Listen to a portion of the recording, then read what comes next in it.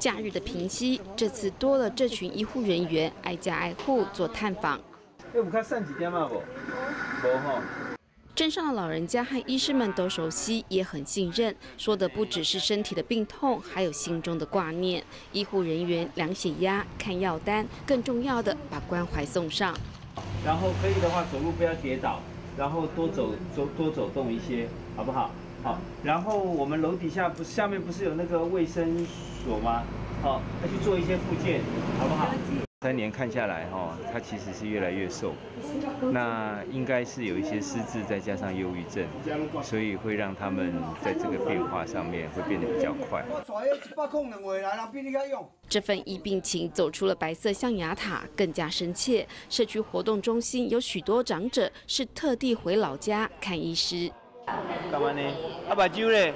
啊，把酒嘞？我看你拢好好呢。到再来个呀？对呀。还有志工帮忙婆婆剪头发，很简单单纯一个想法，回馈社会。